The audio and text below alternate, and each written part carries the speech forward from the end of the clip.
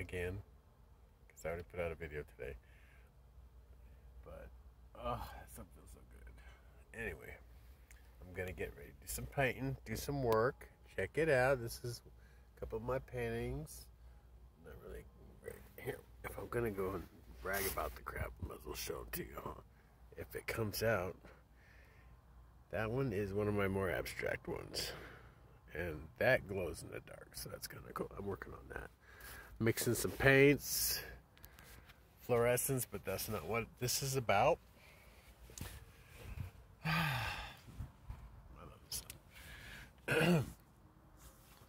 Anyway. See how my production values for shit. Okay let's just work with this. Uh, what's that son? i know i know. I need to shave. I look old I am old. I just when I don't when I do shave, I look adorably younger, like ten years maybe. That's not what I want to talk about. I'm just tired still. Still waking up, you know, my own boss. So I had to motivate myself to paint today, so that's important.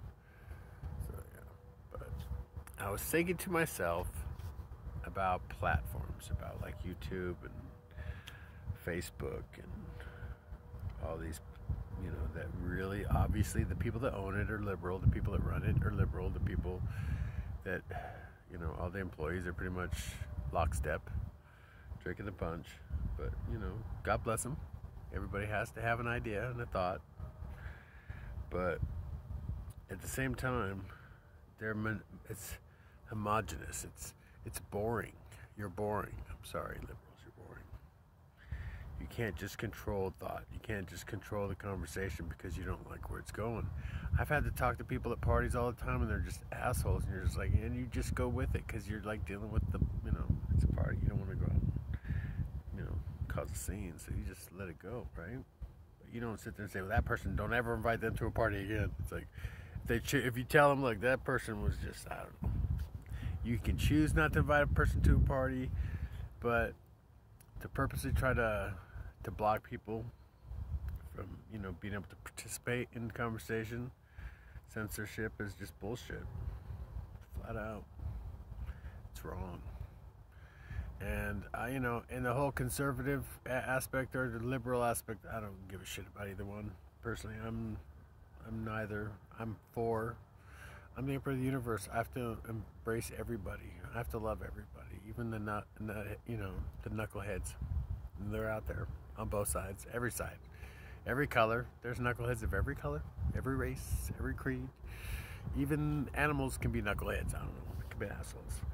But so it's not just one particular color or race. By the way, when you start thinking like that, that's your then you're racist. God bless you. You need to need Jesus. You need somebody. You need the universe. You need pray, meditate, love yourself and love others and hopefully that those negative thoughts will go away. but it was funny because I joined Parler for a minute, for a hot minute, just because I was curious to see. Because I was tired. First, off, it was when I was, you know, Facebook was doing hard censorship. You couldn't. Yeah, I had like almost five thousand friends. I always thought it was weird. Why can you only have only five thousand?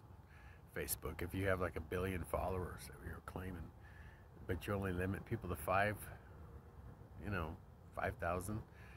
MySpace wasn't that, you know, intrusive. I'm pretty sure I could have as many friends as I want on that one. That was pretty cool. I miss MySpace. I do. It was cool. A lot of artists there, anyway. But I went on Parler, and it was an echo chamber. Just like all the other places are now that are just shutting down voices that they don't agree with. It's an echo chamber. You're boring. I don't want to go to Parler. I quit. I quit going there. Like I went there for like a month. It was like it's just all the same people cheering each other on, and it's like it's boring. You have to have dissent. You have to have competition. You have to have thoughts that vary. You can't. Yeah, everybody. It's like it's like that Dr. Seuss book when everybody had the stars on their chest, whatever. You know what I'm talking about. And then the other ones didn't, so they were separate. And then they ones then some guy shows up with a machine that can get rid of the stars or create, no, actually, he would create stars. And so everybody had a star, and then the ones that had the stars didn't want them anymore. Yeah, it's like, come on now. Let's just all get along and say what we want to say as long as we're not hurting anybody or hurting children. We should be able to babble and do what we want, right? It's you know, it's freedom. That's the idea anyway. But so yeah, when people start new platforms and stuff, God bless. But it's just it's gonna it's you know homogenous. It's gonna be boring. So try to think of variety. Try to think of think of spice and differences. That's what makes it. That's why I'm so awesome. Is because I'm a blend of different